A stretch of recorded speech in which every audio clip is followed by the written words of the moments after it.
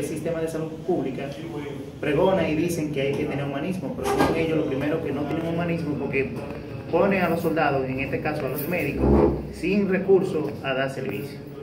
Vuelvo y repito, tenemos lo que está a nuestro alcance, eh, los médicos están dando y prestando el servicio del lugar. Sobre la terminación de hospital, ¿cómo vamos?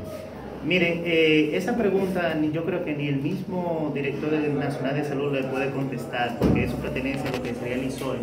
Pero nosotros estamos vigilantes en una comisión de que se reúne eh, cada mensual para darle seguimiento a esa, a esa, a esa problemática, porque ella es una problemática de salud, porque es el principal hospital regional